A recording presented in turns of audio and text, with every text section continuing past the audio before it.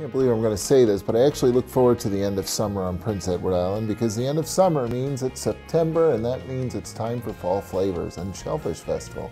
And boy, we've got a great lineup of things this year. The Shellfish Festival is very unique. It's a great time to come and visit Prince Edward Island. It's a great time to see us at our best. It's September, it's still nice and warm here. Summer hasn't ended yet.